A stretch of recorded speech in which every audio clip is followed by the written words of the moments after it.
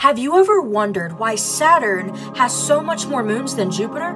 Common in space science, a planet that is larger and has a stronger gravitational pull is known to have more moons. For our solar system, that is Jupiter. But there's one catch. If Saturn is smaller and weaker than Jupiter, then why does it have the most moons? Now, this is where we get into something called the Hill sphere. A Hill sphere is a region in space that is gravitationally dominated by a planet.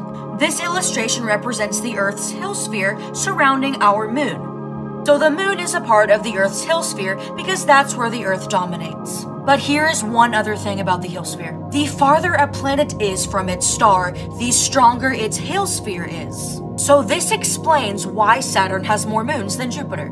Saturn is farther from the Sun, therefore Saturn has a greater Hill sphere and can attract more moons. Jupiter is closer, so it has less. Does it make sense?